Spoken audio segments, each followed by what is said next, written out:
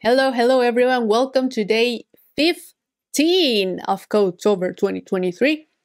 In yesterday's video, I showed you some of the best practices to do like the global.xml where you have all of your global elements, uh, the source main resources, uh, where you keep your dev.properties and local.properties because these may differ, which in this case they do because in the local properties we have some ports 8081, 8082, or 8083.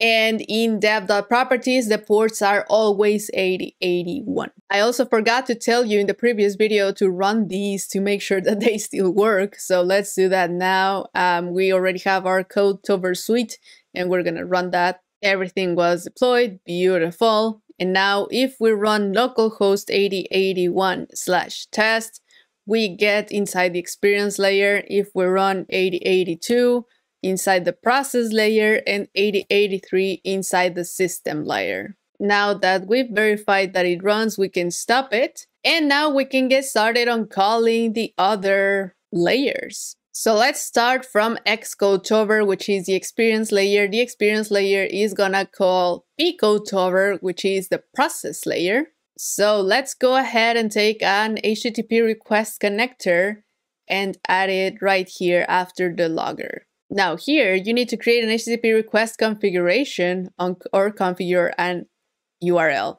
So what we're gonna do is we're gonna go to global.xml and in global elements, we're gonna create a new HTTP request configuration. Let's start with the host. So for the host, we are gonna use Guess what? Yes, properties. Since we're gonna be calling pcodetober, let's call this pcodetober.http.host and then we can copy and paste it in the port and then just change port. So now we have to set up this host and port inside our properties. So let's take those. And for now, you can just click OK from here.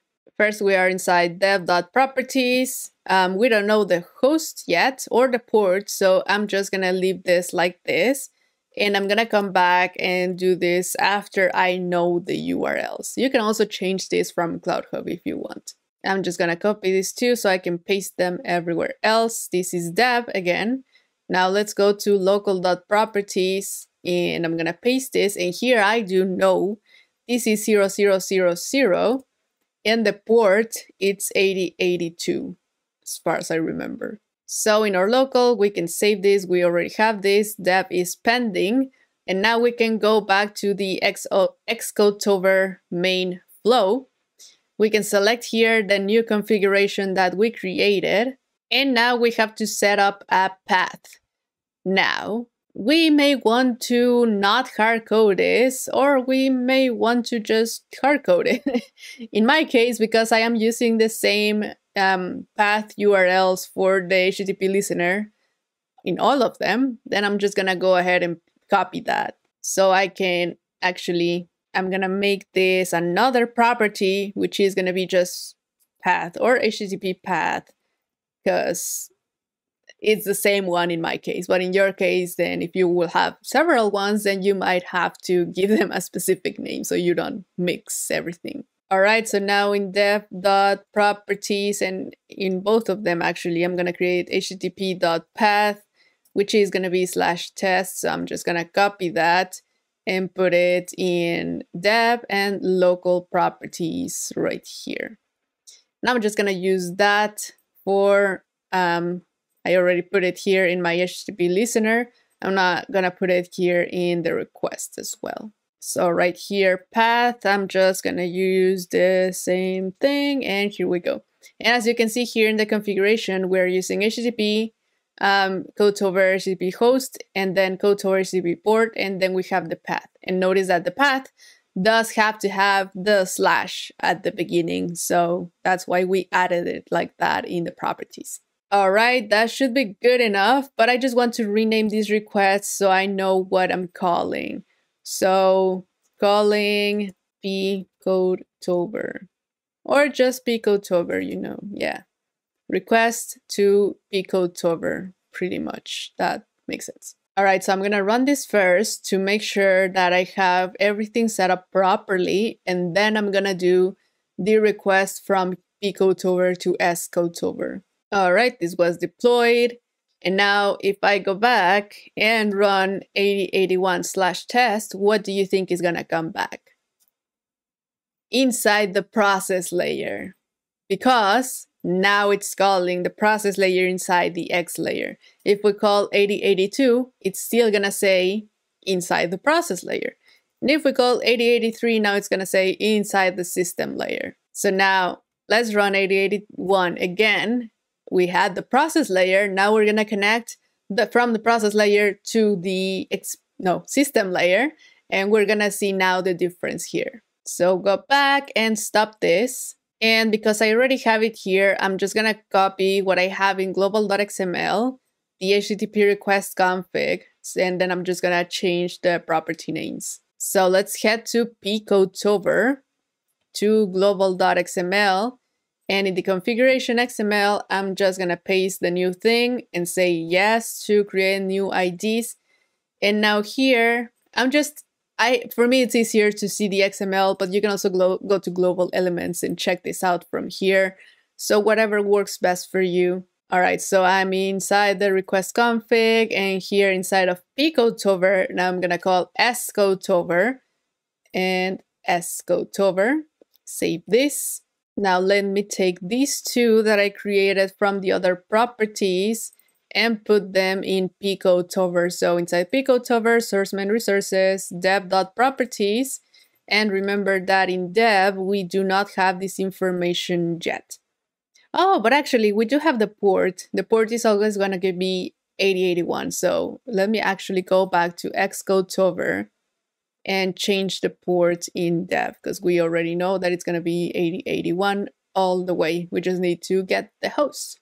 All right, so back to P pcodetober. Now this is gonna be scodetober, scodetober. We don't have the host and that's it. So let me now, now I'm just gonna save.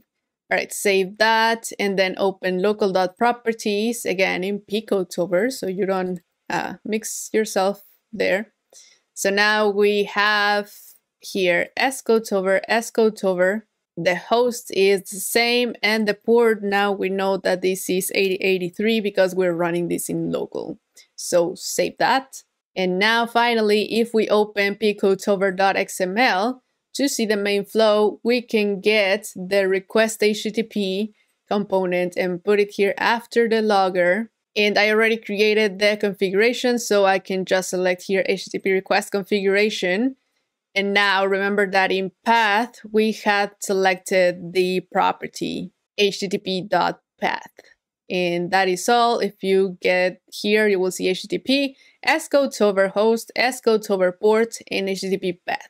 And now here I'm going to change the name to scodetober so I can see it here. And I remember what I did. All right, so this looks good. Now X is going to call P and then P is gonna call S, which is what we want. Let's run this and check it out. Beautiful, it is running. Now, if we go to try this out, localhost 8081 test, now instead of saying process layer, it's gonna say system layer. Yes, inside the system layer. We got it. Now, if you want to do something different, I'm gonna stop this. You can also go here. Oh, we can also check the console, by the way, because so it, this says inside the experience layer and then um, inside the process layer and then inside the system layer. So all of them run. I, I know you cannot see all of my logs, but here you can see experience layer, process layer, and at the bottom is system layer. Just trust me. or if you run this uh, in your computer, you will see those as well. Anyway, what you can do to kind of check out if you want to see these better, or actually we can do that in the next video. I will show you how to debug these three applications to see the actual processes changing from between each other. Also remember that tomorrow, October 16, is going to be the GA of Anypoint Code Builder. but I'm just gonna wait a little bit before I create those videos. So yes, tomorrow uh, I'm gonna show you how to debug these three layers. All right, that was Codetober Day 15. I will see you tomorrow for Day 16, and hopefully we will have the GA of Anypoint Code Builder ACB. Bye!